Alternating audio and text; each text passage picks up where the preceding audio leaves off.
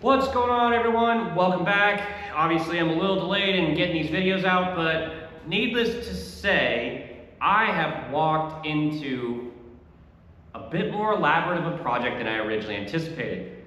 Where I left you guys, I had shown you our little bit of a blank or casting or an impression of what we're hopefully going to be able to replicate with carbon fiber and turn into ductwork. So this is where we left you. From here, we stepped it up to Rev 2, which is, as you can see, it's very, very light cardboard. And we basically tried to make flat geometric shapes and basically take the profile of this and simplify it.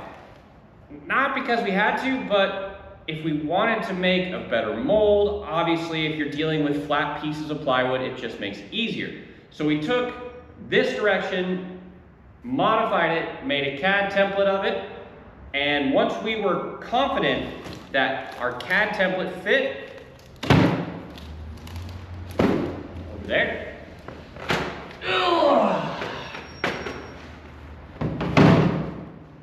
we moved on to this, and this is what we'll call three quarter inch cabinet plywood. And it's got, we'll call it, if I'm not mistaken, we did a, a DTM or just your standard automotive based uh, primer uh, to make sure we seal the corners. Um, obviously you can see we ripped part of it off when we were using it as a mold, but we use this to make our carbon fiber parts. Now, obviously, when you put this on top of that, there's a considerable size difference. There's a good reason for that. We couldn't just make it one piece all in one foul swoop. No, because there's no way to take the mold out of the part once we made it. So we decided the easiest way to do this is, as you can see, we just elongated the height so that we could make a part that goes over the top and a part that comes up from the bottom. And then from there, we're just gonna end up bonding the two pieces together. So,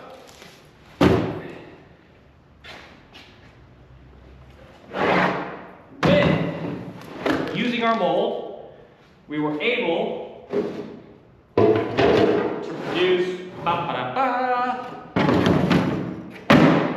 these two lovely pieces of carbon fiber, with the exception of, as you can see, some leftover cabinetry. Now, these are going to require trimming, but ultimately, as you can see, the basic idea, we can get them all together just right,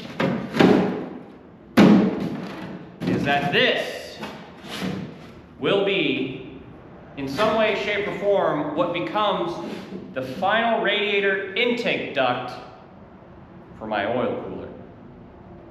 So ironically, this is, in hindsight, why this has taken so long. We've gone from foam to cardboard cutout to plywood mold to two separate pieces of carbon fiber. And we're only halfway there. Yeah. So I know at this point, some of you are wondering, well, why didn't you just leave it the way it was? Because you're technically putting your car back together. You're right, but circling back to the episode where I went over how I converted to the tunnel floors, originally how my radiator and oil cooler were, they were mounted to the flat portion of the floor. Now, because the tunnels are raised off the bottom of the floor, that upsets everything. So this will give you a pretty clear example as to why I have a problem just doing it the way I got it. Normally, your Stohrs are just gonna run the oil cooler and the radiator somewhat like this. Now, I can't get this all the way in the lateral orientation because, well, let's just say the tunnel floors make it so it doesn't fit. But the problem is, is now everything gets moved up an inch, inch and a half. So either I shorten my radiators or I do something completely different entirely. So as you can see, if I do the inclined or lean forward angle on the oil cooler and radiators, it's gonna fit underneath my side pod perfectly. In fact, there's gonna be room to spare. The other big problem with just shortening the oil cooler and the radiator is, well, I need that heat to get out of my motor. And the old radiator and the old oil cooler basically filled that entire space. And that was just enough cooling for a 1000 cc engine. Now I'm running the 1300 or 1400 Hayabusa, which is even gonna put more heat into the oil and water cooling systems. So I definitely don't wanna compensate or try to shrink the overall surface area of my radiator or oil cooler. Now this is the other part of what I'm trying to do could seem a little excessive, but theoretically, I could have just created a giant block off plate that basically filled this entire side or this entire cavity, let's say. So the only way for air to go through my side pod would have been through the radiator or the oil cooler.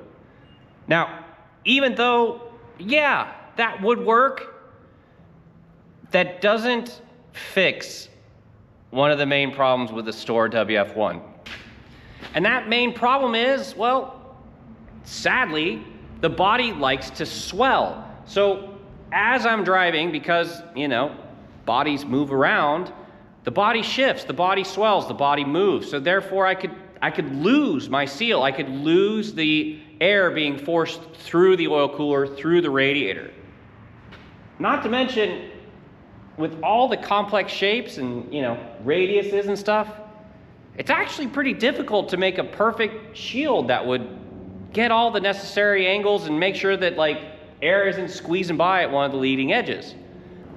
And just to show you how bad some of this bleeding air is, I've got what we'll call my little leaky air goblin just to show you one of the main areas where air likes to leak out of the side pods of these Stohr WF1s.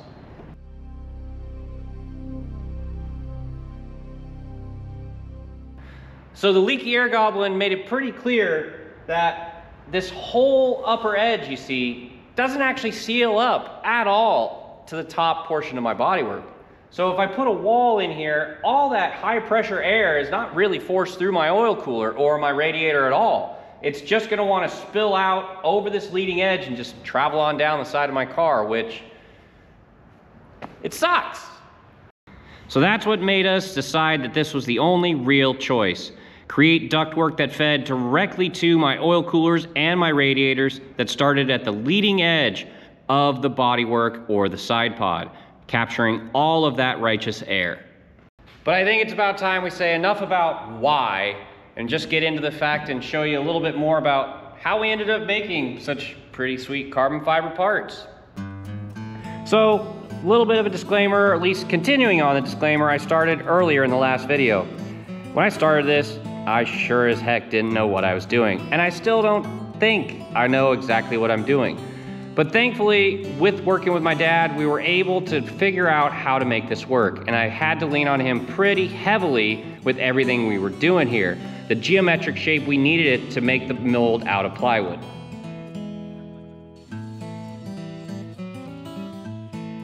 So here is the official start to the left side or the radiator ducting. We're not gonna try the little cardboard cutout because it worked well on the right side. So we basically are copying and pasting the right side from the left side. And we're just gonna hope it works. So hopefully those are my famous last words and hopefully the right side and left side can just be opposites yet symmetrical. But as you can see, we're just layering up the parts, nailing them together with a nail gun, and we're just trying to make this as airtight as possible. So the main reason we're caulking this is, well, we need an airtight seal. And it's not gonna be perfect, but it's gonna work. So obviously we're using just your standard bathroom caulking, but we're also gonna make sure that we coat the outer edges with Bondo. And there's two reasons we're gonna do that. One, we're starting off with the plywood that's, you know, smooth enough that we can lay a mold on but we have to radius the corners using a router. And as soon as we do that, we're gonna throw all that nice finish away. So we're gonna recover that by using automotive Bondo. By the way, we definitely screwed up cutting one of our panels, so please don't make fun of the fact that we had to make one of them two pieces. Now here's a good example of both molds side by side. Obviously, one we've done finished, and the other one still has some finishing to go. As I mentioned, Bondo was the thing, so we Bondoed up both sides, And unfortunately, well, my skills as a cinematographer let us down, so all the finishing work on the rest of that side pod didn't get covered. So obviously, we've always got to start by laying out some mold release. Then we're gonna move on to cutting the carbon fiber. Now, I don't know where my dad found this mat, but it's exceptionally thick by comparison. To get rigid parts, we only needed to do two layers of carbon fiber, and that ended up getting us to about the 0.030, or I forget, I think it's 0.030 thickness of a total done part. Now, as you can see, there's a lot of overhang both on the front edge and the tail edge, so we can run the double-sided tape we're gonna use to vacuum bag the part. Now we get to start running it around the perimeter of the bag, and you can see, well, it wasn't the easiest job, unfortunately, but we got it done. We get to go ahead and start mixing in the resin, and we get to start putting on the carbon fiber. Now, my dad and I tried on this specific occasion to wet the part on the mold, but I'm never doing that again. If you're ever doing this, just lay out a sheet of plastic, wet the piece of carbon fiber down on a piece, and then lay it onto the part. Even though this did work out just fine for us, it's something we realized, well, we wish we hadn't done it. Now, one of the other things that we really started to struggle with was unfortunately sealing the bag on such complex corners. Now, one of the remedies we had for that was instead of trying to get a perfect seal all the way around, we engineered in folds at certain points. Now the folds, basically how we sealed those was we just used more double-sided tape. And basically we would just have folds that we would fold over and seal it onto itself. Now, you just saw us add the peel ply and obviously what we'll call the vacuum bagging mat. Now we're gonna get this bag over it and just start cranking in some negative vacuum pressure.